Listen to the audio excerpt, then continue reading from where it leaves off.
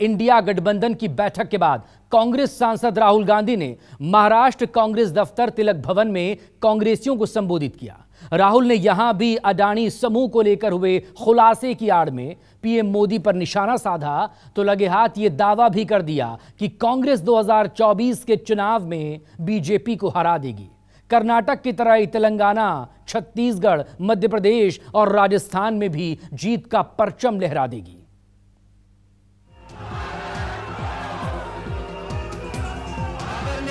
साहेब, आदरणीय राहुलजी यांचं आगमन या ठिकाणी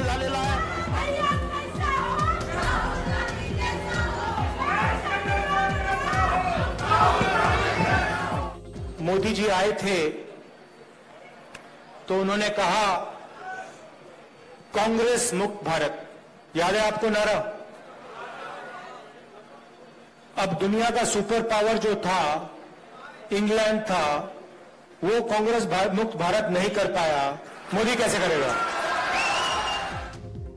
28 पार्टियों की एकता से मिली ताकत और मुंबई में पार्टी दफ्तर में हुए स्वागत से राहुल गांधी का जोश सातवें आसमान पर पहुँचा। निशाने पर पीएम मोदी तो आए ही आरएसएस और बीजेपी भी राहुल के हमले से बच नहीं पाए। और जो बीजेपी आरएसएस वाले होते हैं वो नरेंद्र मोदी जी ऐसे बैठते हैं। और उनके पीछे लाइन लगी रहती है वो भी ऐसे बैठते हैं। कि गलती से भी गलती से भी मुस्कुरा ना ले।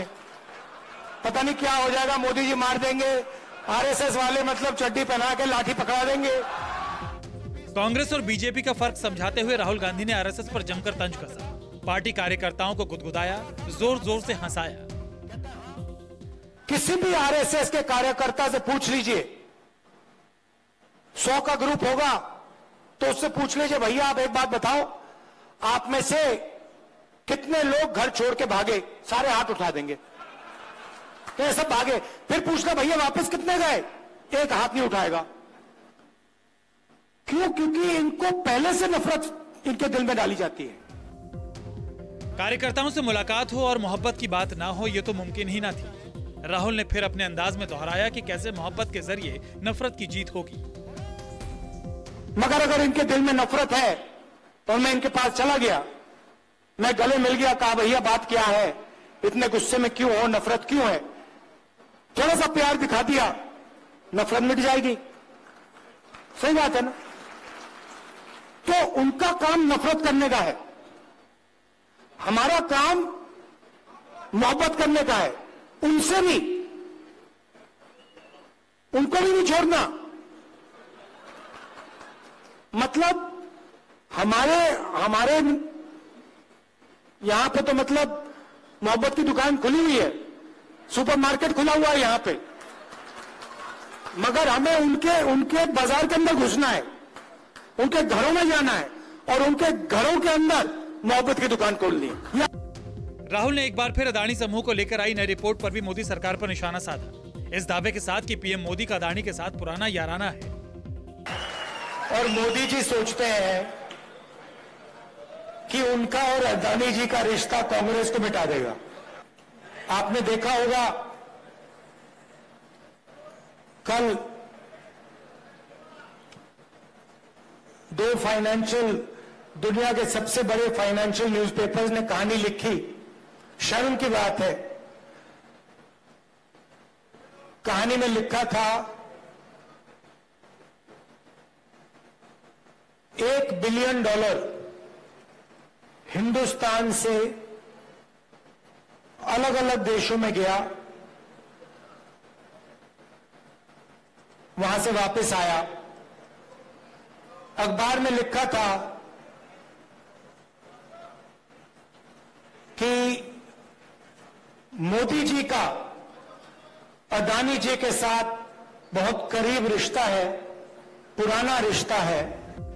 2024 की रेस के लिए कांग्रेसियों की हौसला अफजाई करने पहुँचे राहुल गांधी ने यह भी दावा कर दिया कि तेलंगाना, राजस्थान, एमपी और छत्तीसगढ़ के नतीजे भी वहीं आएँगे जो कर्नाटक में आए थे। कांग्रेस पार्टी से डर नरेंद्र मोदी को लगता है, आरएसएस को लगता है, बीजेपी को लगता है।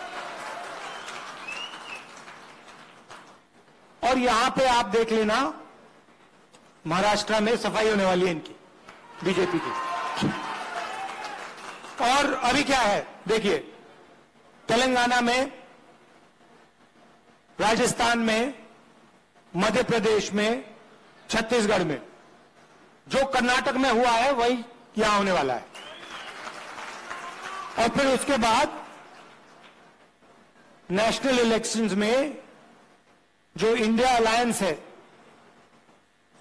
वो बीजेपी को हराने जा रहा है।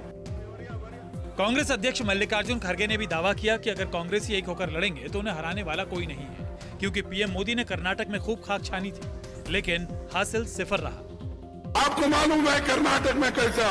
मोदी दिल्ली से आकर गली गली फिरा तो भी लोग वोट नहीं दिए।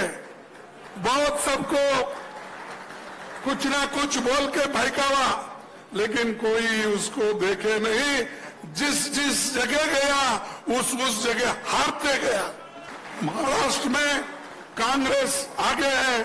सभी तरफ़ लोग राहुल गांधी जी को देख रहे हैं, जो इंसान कन्याकुमारी से लेकर कश्मीर तक पैदल चला, चार हज़ार से ज़्यादा किलोमीटर चला, उसके तरफ़ सब देख रहे हैं। जब आप एक होकर लड़ेंगे, आपको हराने वाला कोई नहीं है। मल्लिकार्जुन खड़गे ने यह भी इल्ज़ाम लगाया कि राहुल गांधी को खामोश करने के लिए सत्ता ने उनकी संसद सदस्यता रद्द करवाई थी। लेकिन राहुल झुके नहीं, क्योंकि उन्होंने गरीबों की लड़ाई का संकल्प ले लिया था। डिस्कालिफिकेशन ये किया था मोदी और मोदी के लोगों ने गुजरात में साजिश करके और कोई गरीबों की आवाज़ नहीं उठा सके। अनएम्प्लॉयड यूथ का आवाज़ नहीं उठाना। इसीलिए वो उनकी आवाज़ बंद करने के लिए उन्होंने उनके ऊपर झूठा मुकदमा करके उनको डिस्कालीफाई कर दिया। राहुल जी ने पहले ही दिया था। इससे पहले जब पार्लियामेंट चल रही थी तो दो साल पहले उन्होंने कहा था, डरो मत और आप डरेंगे तो मरेंगे।